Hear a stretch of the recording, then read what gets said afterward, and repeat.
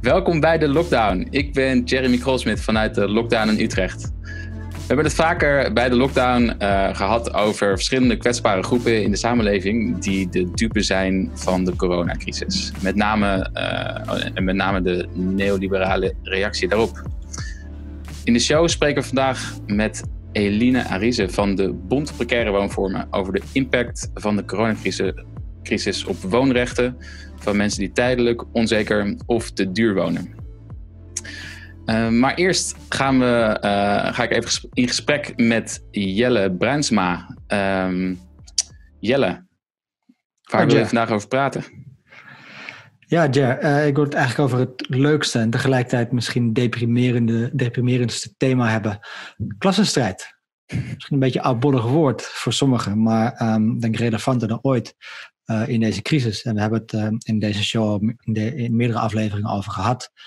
Uh, de vraag die heel relevant gaat zijn voor de komende jaren. Wie gaat het betalen voor deze crisis? Voor het geld dat de overheid nu uitgeeft, um, de ondersteuning, maar ook de economische crisis die nog een tijd zal doorzingen.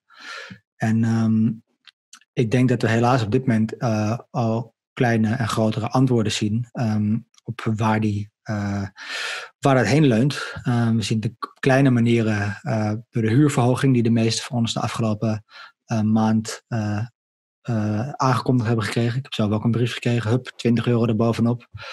de meeste, meeste huurbazen en um, ook de corporaties doen hetzelfde. Gewoon met hoge percentages de huren omhoog gooien in midden van een economische crisis waar heel veel mensen het financieel heel moeilijk hebben.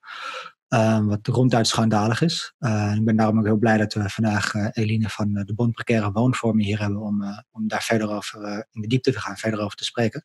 Ja. Um, en we zien het ook op andere vlakken, bijvoorbeeld bij de, bij de volgende steunronde, die is aangekondigd um, door, de, door het kabinet voor bedrijven, waarbij de verplichting om mensen niet te ontslaan wegvalt. Oftewel, bedrijven kunnen steun krijgen, maar mogen tegelijkertijd het geld gebruiken voor ja, hun bedrijf zonder dat door te spelen aan uh, de werknemers die bij hun in dienst zijn, of zonder daarvoor te zorgen. Wat volgens mij het hele idee moet zijn achter overheidssteun voor bedrijven. Um, en uh, tegelijkertijd hangt nog steeds als een soort zwaard van Damocles ons uh, de aangekondigde bezuinigingen boven het hoofd, in met name de zorg en, en op uitkeringen die weliswaar uitgetekend um, waren door ambtenaren voor de crisis, maar tijdens de crisis naar buiten zijn gekomen. En um, waarschijnlijk een soort uh, blauwdruk gaan vormen voor bezuinigingen um, in de komende jaren. Um, en ik wil eigenlijk een voorbeeldje eruit lichten, een soort mini-studie uit de Verenigde Staten, uh, waar alles altijd wat groter en uh, gestoorder is. namelijk het voorbeeld van Elon Musk en Tesla. Dat de meeste mensen wel weten wie Elon Musk uh, is en uh, Tesla, grote fabriek, uh, fabrikant van met name elektrische auto's is. En Elon Musk is ook CEO van onder andere een soort space exploration um, gebeuren. waar jij waarschijnlijk meer vanaf weet dan ik. ik weet niet of dat klopt.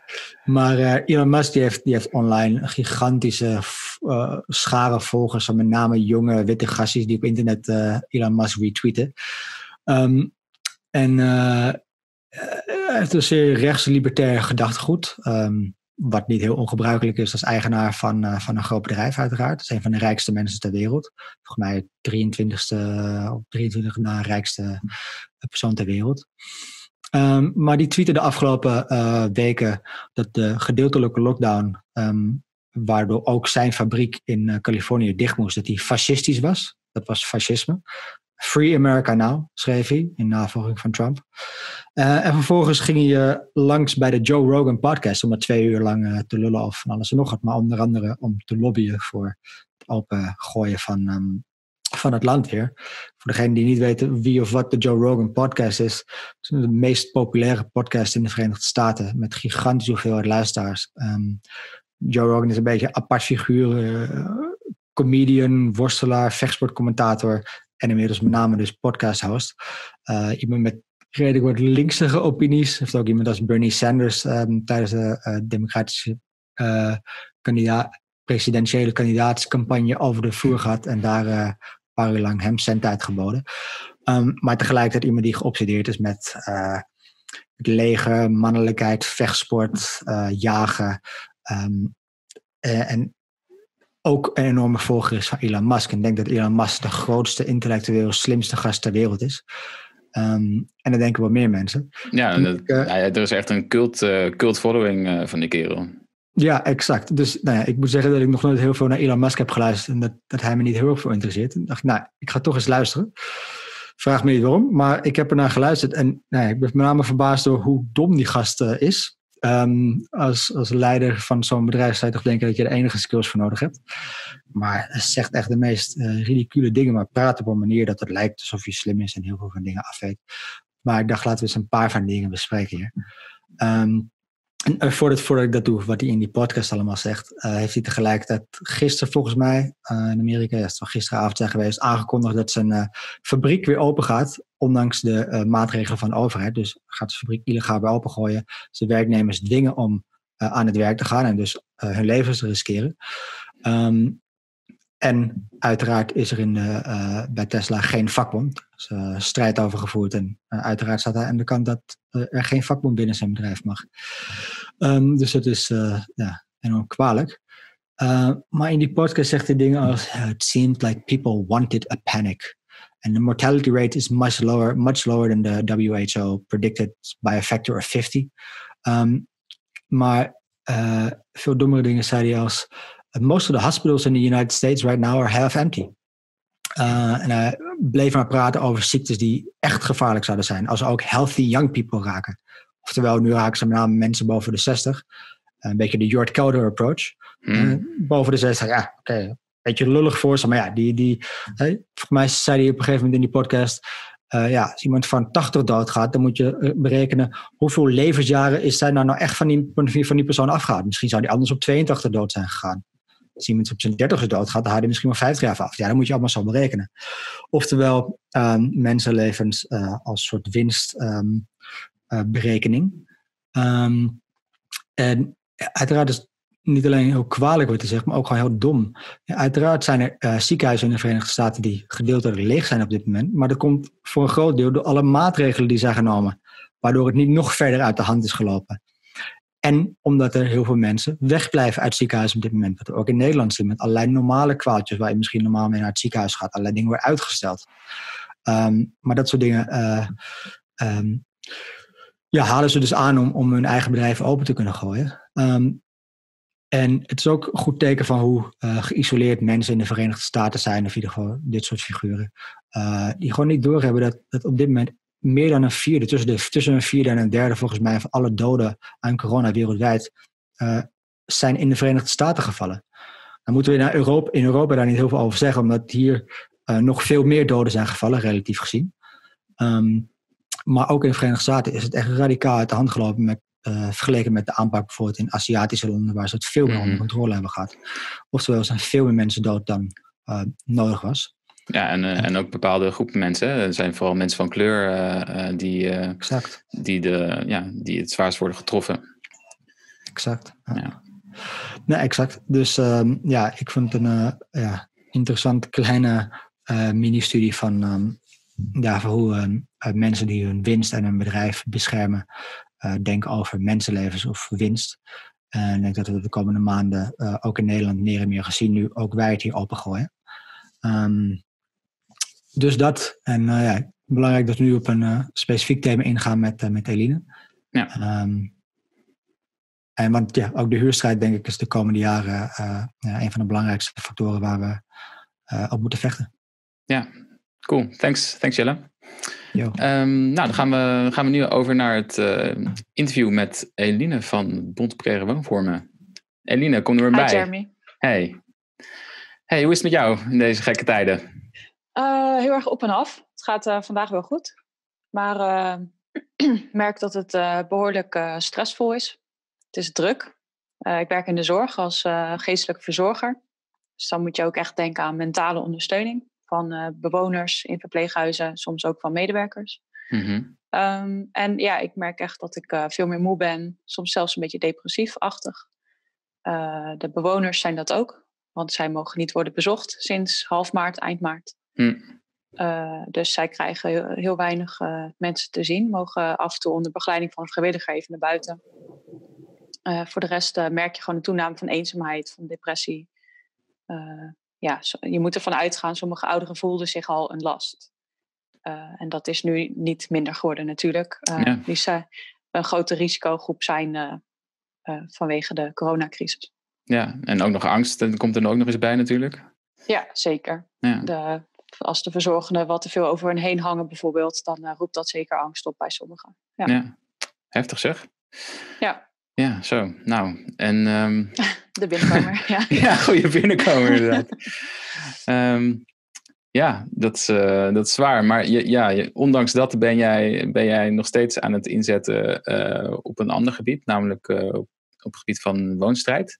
Ja. Ehm, kun jij jezelf even voorstellen en ons vertellen wat uh, de Bond Precaire Woonvormen is en wat, ze, wat jullie doen?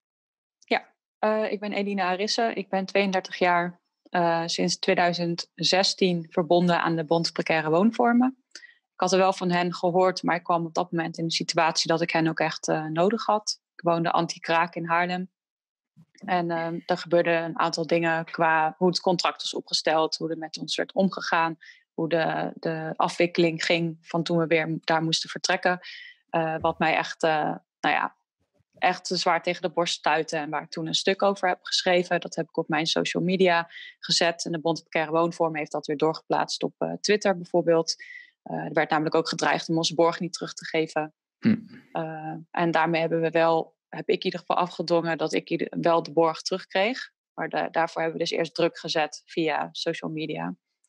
Uh, ja, en daarmee op andere gedachten gebracht. Maar als je dat soort dingen nodig hebt eerst, dan, uh, dan ben je eigenlijk al heel ver afgezakt van wat een goede, fijne woonsituatie zou moeten zijn. Ja, natuurlijk. Ja, dat, niemand wil uh, daar tot dat soort dingen overgaan. Dat doe je alleen als het, echt, als het echt moet of niet anders kan. Ja. En toen ben ik dus actief geworden voor de bond.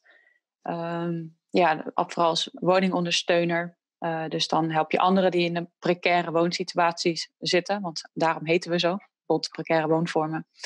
Uh, af en toe ook interviews, stukken schrijven. nu zijn we veel aan het vergaderen over de coronacrisis. Wat het betekent voor mensen qua hun huren. voor studenten die gaan, willen gaan staken. of we die kunnen ondersteunen. We zijn een toolkit aan het maken om dus een stappenplan te maken of een soort stroomschema. Um, ja, we, volgen de politiek. We hebben ook contact met de politiek en met vakbonden soms. Uh, om onze zorgen, ja, waar we bezorgd over zijn, om dat in te brengen en een geluid te geven. Ja, Tof. En um, kun je mensen ietsje meer vertellen over waar, waar de uh, Bond Precaire Woonvormen vandaan komt en hoe jullie, hoe jullie georganiseerd zijn? Want jullie zijn niet, een, niet zozeer, niet alleen een, een lobbyorganisatie of zo, of een, um, jullie, jullie, jullie zijn echt een bond. Hoe, ja. kun, je, kun je daar meer over vertellen? Ja, we, staan, uh, we zouden geloof ik binnenkort ons tienjarig bestaan mogen vieren. Maar dat is natuurlijk onder deze omstandigheden uh, lastig. Ja. Het is uh, ontstaan, heb ik gehoord, op de Pinksterlanddagen. Dus ah. dat zijn van die actiedagen voor allerlei soorten actiegroepen. Mm -hmm. um, en sindsdien heeft vooral Abu Heikamp, onze, de oprichter van de bond, zich ingezet in de woonstrijd, inderdaad, zoals je dat wel kan noemen. Om dus zoveel mogelijk taboes naar voren te halen of dingen die eigenlijk worden weggestopt, die op de woningmarkt niet goed gaan en waar te weinig oog voor is. En dat gaat ook tijdens de coronacrisis gewoon door. Dus wij proberen het, ja, we geven mensen ook juridische hulp, dus dat maken we ook toegankelijk, want er is nog best, er ontbreekt heel veel kennis over de woon, woningmarkt. waar, wat zijn nou eigenlijk de regels? sommige contracten zijn niet goed opgesteld. Waarom dan niet? Kun je daar iets tegen doen? Hoe kun je daar iets tegen doen? En ook om mensen aan te sporen om zich te organiseren. Dus ga niet in je eentje alleen voor jezelf opkomen, maar doe dat met een groep, met het blok waar jij in woont. Ehm, en organiseer je samen, richt een actiegroep op, zet een Facebookgroep op, zet een mm -hmm. andere. Um, zodat je niet alleen staat en dat willen wij ook zoveel mogelijk creëren in bredere zin. Uh, ook in de politiek eigenlijk willen we dat aansturen van uh, kom in actie en laat zien dat je het hier niet mee eens bent. Omdat de woningmarkt op veel plekken, vooral in Amsterdam, dan gewoon de spuigaten uitloopt. Ja. En, niet, niet meer echt op een redelijke manier georganiseerd is. Ja, ja, dat begrijp ik. Dus dat is eigenlijk wel gewoon iets waar we continu mee bezig zijn in Apel zeker. Ja, ja, ja super tof. En um, ja, wat is de impact van de coronacrisis op uh, mensen die precair wonen? Uh, die is best wel groot. Je merkt gewoon uh, dat de inkomensonzekerheid is natuurlijk best wel groter geworden. Dus dat heeft directe impact op kun je de huur betalen. Nou, wij weten al dat voor de coronacrisis dat er zeker 800.000 mensen schulden hadden en nog steeds hebben. En dat zijn niet zomaar schulden, dat zijn ernstige schulden. Uh, daarnaast weten we dat veel mensen 30 tot 33 procent van hun huur zouden mogen, of van hun inkomen zouden mogen uitgeven aan hun huur. Maar dat blijkt in de praktijk zeker 38 of zelfs 39 procent te zijn. Um, nou heb je op dit moment ook nog dat er huurverhogingen mogen worden doorgevoerd. Dat moet nu worden aangekondigd en dat kan dan per 1 juli uh, worden uitgevoerd. Ja. En dat wordt ook nog steeds gedaan met een percentage van 2,5 tot 5 procent van de huur. Nou, uh, tel je winst uit. Dat betekent dat heel veel mensen nu zwaar in de problemen komen. Juist ja. omdat ze nu, ze mogen een uitkering aanvragen bij de overheid. Heeft ook niet iedereen recht op. Het is nog maar de vraag van oké, als alles open gaat, heb je dan meteen weer uh, geld? Heb je dan meteen weer conditie? Uh, krijg je nog wel overheidssteun of niet? En die huren, daar moet ook wat mee. Um, wordt mijn huur bevroren? Uh, moet ik het in delen betalen? Uh, nou ja, de, de regering zegt eigenlijk van je hoeft de incassokosten niet te betalen en een huurcontract tot vanaf twee jaar ongeveer, of tot twee jaar. Um, ja, daar gaan we nog naar kijken. Wat we daarmee kunnen en of er afspraken kunnen gemaakt worden met verhuurders. Maar eigenlijk al die situaties verder, die daaronder zitten, die heel precair zijn, daar wordt niet afdoende naar gekeken. Terwijl mhm. het devies is, iedereen moet thuis blijven. Ja. Uh, maar welk thuis dan? Als jij in een anti-kraak uh, woning zit, als jij daar beheerder bent, en, niet, en de, de, het beheerder zegt van ja, wij zitten ook in de problemen. Uh, onze renovatieprojecten moeten gewoon doorgaan, bijvoorbeeld. Dus jij moet eruit. En dan word jij wel geacht om dat te gaan onderhandelen. En het liefst dus in zo'n groep. Want anders dan gaat het ook gewoon gebeuren. Daar wordt geen uh, rekening mee gehouden. Ja.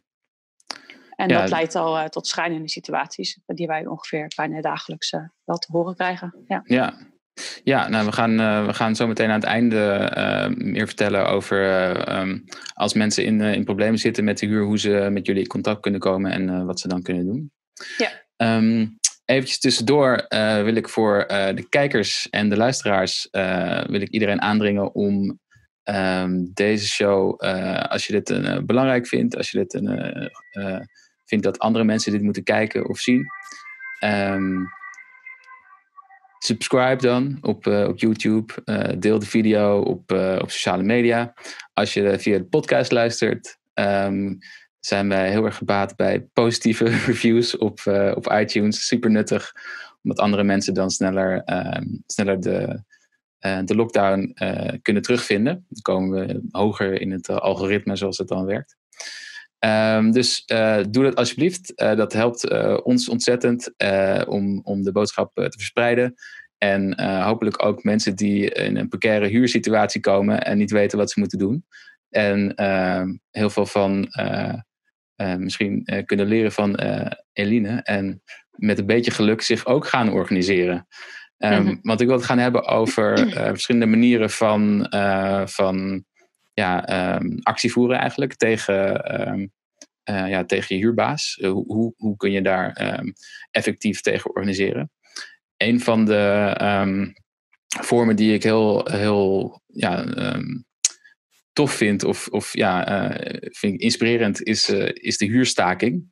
Mm -hmm. ik heb verschillende berichten in het buitenland gelezen van groepen die zich collectief organiseren. Wat je, wat je net vertelde van um, je, je, ja, je zit in de problemen, maar je weet dat mensen bij jou in de flat of in, de, in de blok, zeg maar, um, ook, ook problemen hebben. Je, je roept mensen bij elkaar en je besluit collectief om te weigeren de huur te gaan betalen om bepaal, om, omdat of de huur omhoog gegaan is, of er is achterstallig onderhoud, of hm. noem het maar op.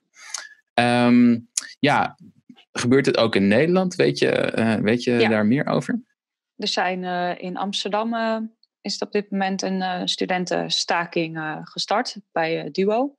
Okay. Dus dat wordt ook door een van onze woningondersteuners gesteund in Amsterdam. We hebben namelijk allemaal afdelingen in Amsterdam, Rotterdam, Utrecht, Den Bosch, Groningen. Een aantal nog in oprichting, Den Haag ook. Dus ehm, ja, dat proberen wij dan actief te ondersteunen. In Den Haag bijvoorbeeld zijn al actieve krakersgroepen, andere actiegroepen die daar al best wel uh, goed georganiseerd zijn. Dus mm -hmm. die kunnen daar meteen op inhaken en uh, dit soort stakingen uh, bijvoorbeeld ondersteunen. Maar dat heeft volgens mij daar nog wat minder plaatsgevonden. maar hier in Amsterdam zijn ze daarmee bezig om dat goed te organiseren. Ja. En weet je, weet je meer over, over die, die duo-staking? Uh, wat, wat zijn de, ja, waar is dat vandaan gekomen? Of, of wat, zijn ze, wat zijn hun eisen?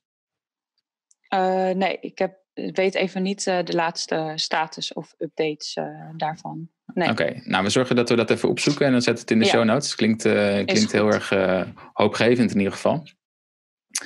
En um, ja, in, in andere landen gebeurt er ook een, een hoop. Um, in verschillende, sowieso in Europese landen heb ik berichten voorbij zien komen over, over huurstakingen. Ja. Um, wat, weet je wat er internationaal voor, voor dingen gebeuren? Uh, in Spanje heb ik gehoord dat er 15.000 mensen op de been zijn gebracht om huurstakingen op gang te zetten. Ze zijn daar ook heel goed in om dat grassroots te organiseren, dus echt van onderop. -hmm. Ik denk dat wij daar in Nederland minder ervaring mee hebben en dat mensen ook veel meer schuchter zijn om dat soort dingen te doen. Ik ben in contact met Amerikaanse mensen die door de hele het hele land uh, coronagroepen hebben opgezet. Dus die uh, proberen elkaar ook actief te ondersteunen en uh, elkaar op de hoogte te houden. Ik heb al gezien dat daar berichten zijn over zelf voedsel gaan regelen. Voor als er tekorten komen, zelf contacten met boeren gaan leggen. nou ja, dat zijn dingen die doen wij hier gewoon niet. Ehm, dus dat is wel bijzonder om te zien. Ja. toch veel meer denken vanuit eigen opvattingen of eigen voor jezelf dingen moeten regelen. Mm -hmm. En ik denk dat dat in de zorg daar natuurlijk ook is. Mensen hebben soms helemaal geen verzekering. Ja, ja. Dan zie je dus ook die toename bij, van corona of van andere ziekten of geen operaties kunnen krijgen, juist bij de armere mensen, bij de onderlaag van de bevolking inderdaad. Ja, ja en ik uh, heb ook al gehoord dat in sommige landen het best wel goed gaat. Uh, Tsjechië bijvoorbeeld heeft heel strenge lockdown gedaan. Iedereen had een mondmasker. hebben dat allemaal zelf aangeschaft of gemaakt. Mm -hmm. uh, en moeten ze dat ook allemaal op in het openbaar voor. En ze kunnen nu weer gewoon open daar. Ze kunnen ja. dus, weer, dus dat kan weer rustig in gang worden gezet. En dat, dan zie je toch al het resultaat van. Ja, ja zeker. Ja, dat, uh, ja, we hebben een uh, hele afleveringen daarover uh, over gewijd. Over ja, verschillende manieren waarop andere landen ermee omgaan, met die lockdown omgaan. En ja. hoe, hoe laks dat in Nederland gebeurt. en ja, dat is, ja, we gaan er ongetwijfeld weer over terugkomen over de, over, de, over de huidige situatie. Want dat, ja. nu de boel weer langzaam opengegooid wordt, kan je er gif op innemen dat, dat er weer een explosie van, van gevallen gaat komen.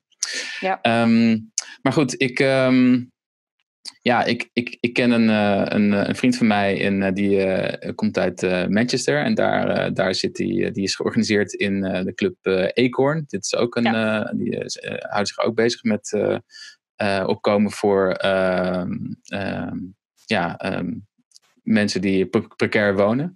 En ja. hij vertelde wel eens van, dat, dat ze als als iemand in de, in de problemen zit, en dan, dan nemen ze contact op met, met, die, met die club Acorn. En dan zijn er dus van die begeleiders, of hoe, hoe, noemen jullie dat bij de Bond ja, Woonvormen? Woonondersteuners. Woonondersteuners, ja. En uh, die, die helpen dan met tips, et cetera. En dan kunnen dan uh, andere, andere mensen, leden van de, van de bond optrommelen. Om bijvoorbeeld voor het huis van, van de eigenaar die, die achterstallig onderhoud heeft. Of die ehm, ja, veel te veel geld vraagt voor. of, of mm -hmm. de borg niet teruggeeft, weet je wel. Dat ze, ja. dat ze, dat ze in van met potten en pannen voor de deur gaan staan totdat ze, totdat ze uh, ja, um, ja, Over, over de boeg komen met geld. Dus hele, hele toffe manieren van organiseren. En, en ik heb ze vorig jaar ontmoet, twee van ja? hen, in, okay. uh, op de Europese coalitie in Barcelona. En um, daar hoorden we dus ook hoe het, hoe het gaat in Barcelona. En dat ze daar inderdaad uh, het hele e-mailverkeer of telefoonverkeer plat gooien bij zo'n verhuurdersorganisatie door gewoon echt te bombarderen uh, met hun eisen of met uh, wat er moet veranderen totdat ze ja, iets toegeven of in, in onderhandeling willen gaan of wat dan ook. Ja. Dus uh, een behoorlijk stevige actie. Ja. Ja, ja, dat is een heel scala aan, aan, en tactieken die je kan, kan toepassen ja. om, om, je, om je recht te halen eigenlijk. Um, ja. want we Berlijn de... zijn ze daar ook heel actief mee. Ja, ja. ja dus dat, dat is cool. En wat je ook net noemde van uh, dat als je eenmaal georganiseerd bent rondom, uh, rondom uh, wonen of, of wat dan ook, dat het juist in tijden van, van crisis of mm-hmm.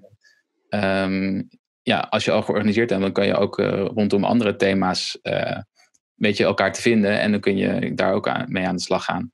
Dus ja, dat vind ik altijd heel inspirerend van, uh, van uh, zelforganisaties, van uh, clubs die zich van onderaf op, opzetten. Ja. Dat ja, al die netwerken die er gecreëerd worden, die zijn, die zijn super belangrijk. Zeker. Ja. ja. Um, ik wilde eventjes een, een andere pad ingaan, namelijk um, ja, wat, wat jullie bij de Bond Precaire Woonvormen voor, voor concrete beleidsvoorstellen um, in gedachten hebben om um, ja, de angel eruit te halen op dit moment voor mensen die precair wonen? Uh, nou, wij willen daar best uh, ver in gaan, tussen aanhalingstekens. Dat mm-hmm. is, er zijn, we hebben contact gehad met uh, Sandra Beckerman van de SP. die heeft natuurlijk behoorlijk wat vragen gesteld toen de spoedwet eraan kwam voor de huidige verhuurders ja, situatie, om het zo maar te zeggen. En uh, die zijn eigenlijk best wel van tafel afgeveegd. Uh, er wordt gezegd dat 80% van de verhuurdersmarkt, van de huurdersmarkt, nu goed zou moeten zitten. Of dat, daar, dat er nog 20% uh, onzeker is. Maar ja, wij denken eigenlijk dat dat aantal nog wel groter is. Wij willen dus eigenlijk gewoon dat iedereen kan rekenen op een veilige woonplek op dit moment. En dat het voor alle verhuurders wordt veiliggesteld. En ook mensen die anti-kraak wonen, want dan ben je officieel geen huurder. Je hm. bent een beheerder. Dus je hebt te maken met een uh, ja, vastgoedbedrijf of een anti-kraakverhuurder, of hoe je het ook wil noemen, die soms ook wordt ingeschakeld door een woningcorporatie. Dus ook bij een woningcorporatie ben je nu niet per se veilig. Wow. Zoals ook blijkt uit de situatie van een verhuurder uh, in Amsterdam. Uh, die bij eigen haard uh, via zwer die dan Zwerfkei heeft ingeschakeld als anti-kraakbedrijf. Mm um, en hij wilde eigenlijk gewoon met die woningcorporatie te maken hebben en niet meer met die anti-kraakbedrijven. Want dan blijf je in een tijdelijk woning zitten. En ze moeten wel iets anders voor je zoeken of zeggen dat ze dat doen. Maar in de praktijk valt dat vaak heel erg tegen. Ja. Um, dus wat wij willen is dat woningcorporaties eigenlijk hun verantwoordelijkheid nemen en dat de regering ook hun verantwoordelijkheid neemt en ervoor zorgt dat mensen op dit moment gewoon niet op straat terechtkomen. En dat dat ook nog iets langer duurt dan van oké, het is 1 juni, hoppakee, we kunnen weer uh, mensen op straat zetten of uh, zeggen zoek het maar uit. Want dat is gewoon niet echt verantwoord op dit moment. Ja. Um, dus dat betekent, als je kijkt naar bijvoorbeeld dat er 30.000 sociale huurwoningen per jaar is werden gebouwd. En dat zijn er nu nog maar 15.000. En dat er dan weer een voorstel wordt gedaan van, nou ja, dan doen we er weer 15.000 bij, maar dat is dan wel tijdelijke verhuur. En dan denken wij, ho, dat is dus niet wat wij willen. Ja. Wij willen meer sociale huur en dat er dus gewoon meer woonzekerheid voor mensen is. Um, en te vaak moet moeten mensen nu in onderhandeling gaan. Soms kunnen mensen ook heel slecht onderhandelen. Denk maar aan arbeidsmigranten, er wordt soms ook nog niet naar gekeken. Uh, ja, ze spreken nog niet afdoende Nederlands, uh, hebben niet echt een, een sociaal netwerk of een vangnet. Uh, vallen gewoon mensen buiten de boot. En dat moet je gaan proberen tegen te houden. Ik heb ook gezien dat het voorstel van Bijeen en van volgens mij ChristenUnie in Amsterdam van tafel was geveegd dat daklozen bijvoorbeeld in hotelkamers mogen blijven. Nou ja, uh, er komt geen toeristen op het moment. Dus het lijkt me eigenlijk vrij redelijk om daar wel naar te kijken of dat soort dingen uh, wel kunnen worden gedaan. Uh, en dat verbaast ons dat dat dan niet gebeurt. Dus concrete voorstellen is ook bijvoorbeeld um, de verhuurdersbelasting, die nu wordt, doorge, wordt geheven voor huurders, om die of die wilden we eigenlijk al dat die wordt afgeschaft. Maar dat is nu ook een hele goede maatregel. Die beschermt eigenlijk vooral nu de verhuurder. Ja. Uh, maar de huurder betaalt ervoor. Uh, en dat is iets wat wij, ja, daar staan wij gewoon niet achter.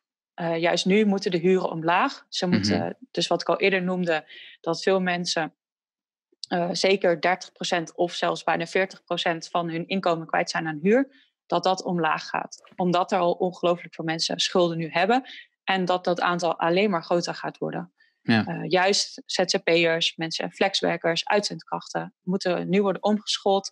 Kunnen sommige beroepen uh, tijdelijk niet uitvoeren of moeten nog maar zien of dat weer kan.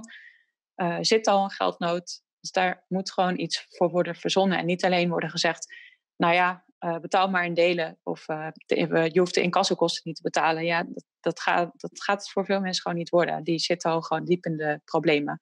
En um, daar mag wel even wat structureler over nagedacht worden dan alleen maar deze crisismaanden. Want eigenlijk blijkt nu, komt er een probleem omhoog wat al veel langer aan de, aan de hand was. Ja, ja dat, dat, dat komen we telkens weer uh, tegen natuurlijk met die coronacrisis. Dat be, bestaande problemen of contradicties alleen maar worden uitvergroot. En mm -hmm. dat is ook ja, interessant of, of um, nuttig aan de crisis dat je juist, uh, dat je juist uh, uh, veel, veel duidelijker onder ogen kunt zien wat er stiekem al, al langer onder de, onder, op, onder de oppervlakte aan het gebeuren was. Ja. Hey, maar ik, um, ik ben benieuwd hoe, um, als jullie het voor het zeggen hadden, hoe jullie hm hoe jullie dan een soort van uh, wonen, woningmarkt, de huursector of überhaupt uh, ja, um, ja, gewoon wonen in het algemeen, hoe je dat dan zou uh, in een ideale wereld zou inrichten. Want we hebben het nu over ja, wat, wat, ja, wat beleidsvoorstellen, wat aanpassingen aan bestaande wetten om, om een situatie um, minder erg te maken. Maar er is natuurlijk een, um, ja, wat je, wat je net noemde, er zijn bepaalde structurele oorzaken waarom die situatie er überhaupt is. Dus hm. um, hoe zou je dingen anders in kunnen richten dat, uh, ja, dat wonen um, ja, zou, zou kunnen zien als een, als een mensenrecht of een, iets waar iedereen, uh, hm. um, ja, wat iedereen uh, een dak boven, boven zijn hoofd verdient, staat ook in de, in de, in, de, de rechten van de mens, weet je ja. wel. Van de VN staat dat, maar dat wordt verder eh, door iedereen vergeten. Hoe, zou, hoe zouden jullie dat uh, voor jullie zien? Uh, nou ja, die, die huurverlaging is gewoon heel erg belangrijk. Dat mensen, dat huren gewoon weer betaalbaar worden voor eigenlijk alle mensen. en dat is op dit moment gewoon echt niet zo. je hebt bepaalde concepten zoals co-ops. Dus dat is in een community samen ergens wonen. Mm -hmm. bijvoorbeeld via een woningcorporatie kun je dan ook samen huren. Dus heb je een heel complex waarin dat kan. En dat kan ook via koop, dus dan ben je allemaal eigenaar. Uh, dat zijn wel mooie dingen, maar dat is eigenlijk nog voor een hele kleine groep nu weggelegd. Maar dat zijn wel dingen die je veel verder kan uitbouwen, waardoor dat voor veel meer mensen mogelijk wordt. Ik denk eigenlijk dat je zou moeten zeggen: schaf antikraak af. Uh, dat is misschien een hele harde eis, maar ja, er gebeuren, zijn zoveel misstanden mee uh, gebeurd. Het, het, de verleiding is gewoon veel te groot om er misbruik van te maken als om er uit te cashen. Uh, daarnaast ja. zouden, ik las ook iets over de huurverhogingen, dat die eens in de vijf jaar soms met enorme bedragen worden opgehoogd. Dus daar zou veel meer een rem op moeten komen. Dat moet of veel geleidelijker of naar rato hoe, wat de inkomen of inflatie is in de economie. Ehm, dus ja, we hebben daar best wel wat uh, ideeën over. En um, als mensen dat meer met elkaar organiseren, wordt het ook makkelijker. Want heel veel mensen zitten in dezelfde situatie, weten dat niet van elkaar. Uh, en er zijn gewoon veel meer dingen mogelijk dan je denkt. Uh, ja. Laatst ook bijvoorbeeld bij een vriend die iemand kende die naar een boer is gestapt of een boerderij waarvan hij wist van nou dat, gaat, dat staat leeg, dat komt binnenkort vrij. mag ik dan, daar iets gaan creëren voor wonen? andere initiatieven dat er ook ateliers bij inkomen. Dus je kunt daar heel creatief over nadenken. En dat, is, dat project is dan toch weer, hebben ze toch een anti-kraakbedrijf ingeschakeld. Die heeft dat gehijacked, die heeft dat overgenomen. Die heeft die, oh, initiator de, eigenlijk de deur uitgewezen. Want ja, ze kunnen er geld aan verdienen. Dus wordt het weer uh, uitbesteed op een manier die eigenlijk niet fijn is. Want mensen hebben creatieve ideeën, willen graag organiseren, willen graag in groepen samen dingen doen. Laat dat dan ook gebeuren. Ja, uh, ja dat zou denk ik wel een ideale situatie uh, zijn. Ja, ja, we hebben die, uh, die kracht, de power in numbers hebben we nodig. er moeten meer mensen zich met dit soort dingen bezig gaan houden. Want dan kan je, weet je wel, via die, die, die middelen die we eerder, eerder besproken hebben, kun je dingen gaan afdwingen. En, um, en dan kunnen we ja, in kleine stapjes of in grote stappen kunnen we, kunnen we dingen gaan veranderen. Ja. Um, ik ben heel benieuwd um, hoe mensen met uh, de bondbekeerde woonvormen in contact kunnen komen. En als je in de shit zit, als je problemen hebt met je huurbaas, um, hoe, ja, wat, wat je dan kan verwachten van, uh, van de bond. Um, wat, ze, wat ze van jou verwachten. En um, ja, een beetje die, die vragen. Is goed. Nou, we hebben een website. Uh, die kun je vast later ook uh, onder de video zetten. Ja. Is www.bondprecairewoonvormen.nl We zijn ook actief op Facebook en op Twitter. Dan kun je ons ook vinden onder die naam. We zijn heel laagdrempelig bereikbaar. Dus je kunt mailen naar contact.bondprecairewoonvormen.nl uh, je kunt ons een Facebookbericht sturen. Op Twitter zijn we ook uh, goed bereikbaar. Uh, zetten we ook geregeld leuke, zeg je dat? Nou, spannende tweets neer. Die een beetje zo tegen de mainstream ingaan. Of schrijven we gewoon direct naar politici als we het niet zo fijne mening vinden. Of zetten we daar iets tegenover. dus daar zijn we actief in. je kunt um, op verschillende plekken in het land met ons direct in contact komen, omdat we dus afdelingen hebben. Dus we hebben een afdeling Amsterdam, dus dan is het ook amsterdam.bondkerwoonvormen.nl. Uh, eh, Rotterdam ook, Den Haag, Utrecht, Den Bosch, Groningen, uh, misschien Nijmegen, maar uh, sommige dingen zijn nog in oprichting of vertraagd door de coronacrisis. Ja. Um, hm. En wat er dan eigenlijk gebeurt is dat wij vragen om mensen lid te worden vaak. Dat zit volgens mij voor een bedrag van 2,50 per maand. Dus dat is niet heel veel en daar krijg je best wel heel veel voor terug. Want wij hebben ook advocaten in ons team zitten. Dus als er juridische vragen zijn, kunnen we die gelijk doorzetten als wij dingen zelf niet weten. Uh, we houden de media dus bij. Uh, we maken zelf artikelen. We zetten daar ook vraag en antwoord in van uh, wat gebeurt er nu tijdens deze crisis. we maken standaardbrieven voor die je naar de verhuurder kan sturen als jij een huurverlaging wil of als je wil dat je huur bevroren wordt. Uh, die hebben we ook in het Engels. Dus dat is ook voor Engels sprekende mensen. Hm. Uh, dus dat kun je allemaal op onze website vinden. Um, en daarnaast houden wij dus een soort schema's aan. Uh, word eerst lid, kom met ons in contact, leg je problemen uit. of wij verwijzen dan door naar een van onze ondersteuners. Iemand die het op wil pakken, die legt verder contact met die persoon. vraagt om die brief door te sturen. Dus die kan gewoon zo van de website worden gehaald. Um, en als we verder moeten gaan, dus dan vragen we om, of, om mensen om zich te organiseren samen in een actiegroep, dan blijven we daar ook actief uh, bij betrokken, het liefst. Mensen hebben nog wel eens de neiging om dan het helemaal over te gaan nemen en uh, alles in eigen beheer te nemen of eigen initiatief. Maar wij kennen een beetje het politieke, strategische spelletje wat vaak wordt gespeeld. Ja. En daarom is het handig als wij wel betrokken blijven. Uh, omdat we weten dat mensen soms met een kluitje in het riet worden gestuurd en er wordt gezegd: ja, is prima, regelen we. Uh, jullie mogen per 1 juli eruit. En dan, als wij er niet bij zijn, bij een gesprek achter gesloten deuren, blijkt opeens: nee, jullie moeten toch per 1 juni eruit. En nou ja, er worden gewoon een beetje kat-en-muisspelletjes uh, gespeeld. Ja, natuurlijk. En daar proberen wij een stokje voor te steken door uh, even flink met de vuist op tafel te slaan. en uh, te zeggen wat, wat wij eisen eigenlijk. Ja, of dat, ze, dat ze de ene groep tegen de andere groep gaan, gaan uitspelen. Dat soort, ja, dat soort we trucjes. alles meegemaakt. Alles. Ja. Manipulaties, zelfs bedreigingen heeft Abo ook wel eens meegemaakt. Ja, het gaat echt ver soms. Heftig. Ja. ja. Nou, goed dus, dat eigenlijk allemaal, vergeet ik iets, uh, ja, juridisch zijn we dus ook in staat om uh, wat te doen. Of door te verwijzen naar advocaten die in woonrecht zijn gespecialiseerd. Wat ook vaak niet bekend is bij mensen, dat die er zijn en wat ze dan uh, doen. dus zelfs als het tot een rechtszaak komt, kunnen we nog blijven ondersteunen. Ja, ja. ja super tof dat, dat jullie het allebei doen. Zowel het individuele soort van belangenbehartiging, als, als die collectieve actie. Ja, En het helpen oprichten van, of ja, opzetten van, eh, van, je eigen, van je eigen groep, van je, je huisgenoten of je, of je buurt. ja. En Eh. we proberen die dingen ook actief te scheiden. We hebben een subsidie, aangevraagd, waarin we dus het deel actie voeren, wat, wat we dan veel actiever weer willen gaan doen, scheiden van alle vragen die we krijgen voor eh, bewonersondersteuning. Mhm. Dus dat we dat als het ware zo kunnen organiseren dat daar een team op wordt gezet die al die vragen gaat afhandelen, alle administratie, alle brieven die moeten worden gestuurd en alles.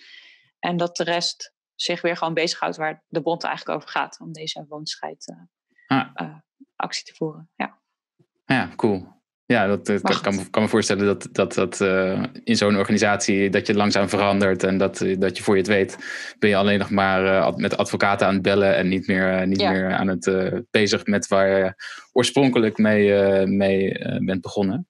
Dus, En het is ook heel veel bewonerscontact. Dat vergt ook veel tijd, want mensen zijn gewoon bang. Ja. En juist nu ook. Het, het roept gewoon heel veel angst op als je woonzekerheid onder je vandaan getrokken wordt. En dat heb ik dus zelf ook meegemaakt. Ik, heb, Ja. ik heb, sta ook op een poster van de bond en daar staat letterlijk op: ik ben negen keer verhuisd in vijf jaar. En dat is geen grapje, dat is ook echt gebeurd. Uh, en daar word je heel onrustig van. Het is uh, heel belangrijk om ergens lekker te kunnen wonen. En nu om, uh, als je thuis moet blijven, dat je niet daar ook nog allemaal stress over hebt. Terwijl je ook al weinig inkomen hebt, bijvoorbeeld. Of dat je in anti-kraak wordt gedwongen om je uh, gezinsuitbreiding uit te stellen. Want het staat in het contract dat je geen kinderen zou mogen hebben. Ja, het komt echt allemaal voor. En wij vinden het echt krankzinnig. Maar wij, blij, ja, wij zeggen er wat van. Uh, en wij zijn het er gewoon echt niet mee eens. Ja, ja nou, um, ik wil je ontzettend bedanken voor al het belangrijke werk dat jij en, en, de bond aan het doen zijn. Echt, uh, echt heel tof om over te horen. En uh, ik wens jullie heel veel, heel veel succes en moed en kracht in, in, de komende tijd. En, um, Dank je. Ja, ja heel, heel leuk om je gesproken te hebben. Thanks. Zeker. Oké, okay, dank jullie wel. Doeg. Ciao. Jelle. Hallo, zijn we weer. Hallo. Goeiedag. Jij wow. hebt ook wel eens problemen gehad met, uh, met de betaalbare woning krijgen in Amsterdam, of niet? Daar heb ik zeker problemen mee gehad. Ik ben echt heel blij dat we dit interview hebben gedaan. En uh, het was echt heel erg informatief. En uh, ik hoop dat heel veel mensen zich aansluiten bij de Bon Precaire Woonvormen. Um, ja, nee, absoluut. Ik bedoel, ik heb zeven jaar in het buitenland gewoond. En toen ik uh, vorig jaar terugkwam, ondanks dat ik 15 jaar wachttijd had ongeveer voor sociale huurwoningen in Amsterdam, moest ik gewoon terug naar mijn moeders zolderkamertje. Um, en ik heb nu met heel het geluk heb ik dan een sociale huurwoning gevonden. Um, maar het is 15 jaar wachttijd. Um, en de meeste mensen hebben dat geluk niet, dat ze op 18e ingeschreven zijn door hun moeder. Uh, en zelfs daarmee krijg je ja, Ja. een woning voor een gigantisch hoog bedrag. En ook een woning waarbij als ik ja, kinderen zou krijgen of uh, dat soort situaties zou terechtkomen, uh, het ook heel moeilijk zou hebben hier. Um, dus ja, en, en ik bedoel, in, in, in het grotere plaatje, ik bedoel, in die zeven jaar dat ik weg ben geweest uit Amsterdam, Amsterdam is gigantisch veranderd. Al die, alle wijken die, die ik kende zijn zo gegentrified, zo verjupt, um, dat je gewoon bepaalde dingen niet meer herkent. Vrienden zijn gewoon de stad uitgejaagd, kunnen geen woning meer vinden of willen hier niet meer wonen. Het verandert het hele karakter van de stad. Uh, van, van, de, van de juppenbarretjes op de hoek. Um, tot, aan, tot aan de vele uh, elektrische bakfietsen. Um, maar ook gewoon het karakter van de stad, zoals ik zeg, gewoon heel veel mensen die een beetje uh, moet je zeggen, in de mars leven of alternatief leven of leuke dingen doen, creatieve dingen doen, die zie je niet meer. Als je nu in Berlijn op straat loopt, heb je een beetje het gevoel dat je in Amsterdam van de jaren negentig bent. Met heel veel gekke, leuke, creatieve mensen, uh, waar ruimte is voor iedereen. En dat gevoel heb je niet meer. Mensen zijn veel meer gejaagd, gehaast om, om geld te maken. En ja, dat is gewoon, uh, ja, Amsterdam is gewoon heel wat minder leuk geworden daardoor. En uh, heel, heel veel zwaarder om in te leven voor, um, voor, voor de meeste mensen.